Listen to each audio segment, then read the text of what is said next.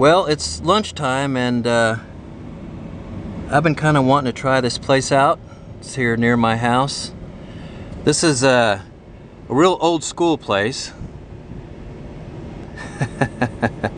when I was a kid, this is the kind of burger place I would go to. You uh, you have to walk up and order your food and wait for them to cook it and then bring it out to your car. Usually you would eat it in a park or something, but uh, anyway, yeah. Now this place has been open since, uh, let's see, 1954. So 67 years, that's a long time to be selling burgers. But uh, anyway, I'm gonna try, I'm gonna try this place out. Uh, and uh, see what it's like.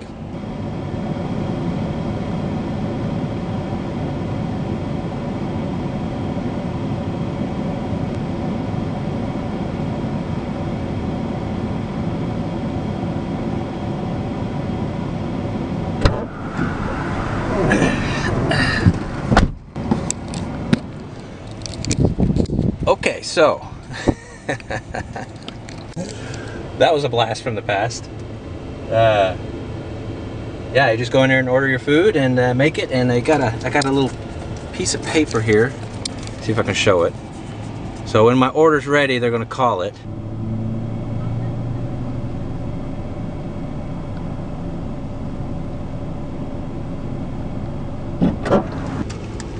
All right, so uh, take a look and see what we got. By the way, that's RC. They don't have Coke or Pepsi or anything like that. They have RC. How long's it been since you've had an RC? For me, a long time. Yeah, it's definitely a different taste than Coke. Uh, a little sweeter. And then I, I got the fries, little crinkle fries. Pretty good. Let's see what the burger looks like. In a sack, you can see. All right. Toothpick. Got everything with mustard. Yeah, looks pretty good. Looks like a burger, doesn't it? I'll tell you what, the place is kind of expensive though. Uh, it was like uh, three dollars or four dollars for the burger and two fifty for the fries and two fifty for the drink. So no, uh, I know it was almost it was ten dollars altogether. So no value meals here. Uh, but let's see the burger. Let's see how that burger is. I'm gonna give it a try real quick. Well, yep, tastes like a burger. Pretty good. Yeah, you know, for your young whippersnappers, this is the way we, like I said before, this is the way we ordered burgers. We didn't, uh, we didn't have drive-throughs then. So, when I was a kid, there's a place just like that at my high school. We would get out for the day, walk up and get burgers and shakes. Of course, this was back in the late 70s and early 80s. That's how old I am. But, uh, fond memories. This place has been here a long time, though. Since, um, I think I told you, 1956 or 54. So, almost 70 years. Anyway, well, while I'm eating this, uh, I don't know if you guys saw it on the news, but Dusty Hill passed away, the uh, ZZ Top um, bass player. Really bummed me out because I was a huge ZZ Top fan. I am a, a huge ZZ Top fan, and uh, I think La Grange is one of the greatest blues rock songs ever recorded. I love that song. Never get sick of it. I was watching a ZZ Top documentary, and Billy Gibbons was talking about his vocals. You know, when you listen to that song, his vocals are so strange, you know.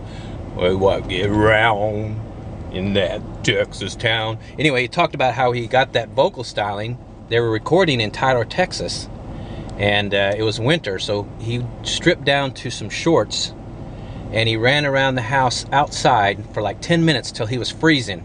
He didn't have shirt on or anything like that. He just had a pair of shorts on. And once he was good and cold and freezing, he ran in and he recorded that vocal. And that's why it sounds like it does. At least that's what he says. Pretty crazy anyway. But I love that song, LaGrange. I love all ZZ Top songs, but I particularly love that song.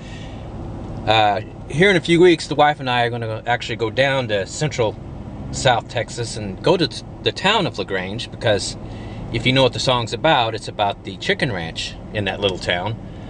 Uh, that was in operation until the mid 70s. From like, it was an operation from like 1901 to the mid 70s, and at its peak, it had 16 ladies working there.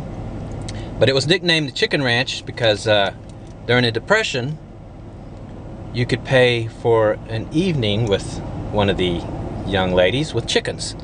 So if you didn't have any money, you're a gentleman and uh, you didn't have any cash, but you had some chickens running around the house, you could grab a couple chickens and go to the chicken ranch and spend the evening with the young lady. And so they got lots of chickens and it got nicknamed the Chicken Ranch and it stuck.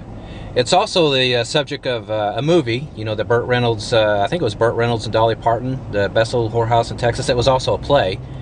But uh, yeah, that little uh, chicken ranch was quite famous. Now it's still standing, from what I understand, it's in ruins, but I want to go down at, to LaGrange, Texas and actually see it.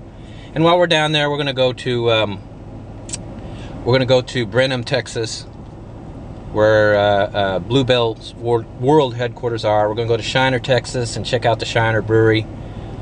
And, and we're going to stop in Waco and uh, go to the Dr. Pepper Museum. So I'm going to do a video on all that. So it'll be a you know a fun video where you, where you see me and the wife hanging out there and seeing these kind of unusual places. So anyway, uh, yeah,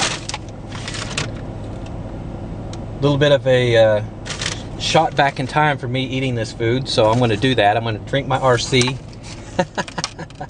Honestly, how long has it been since you had RC? Uh, comment below and tell me.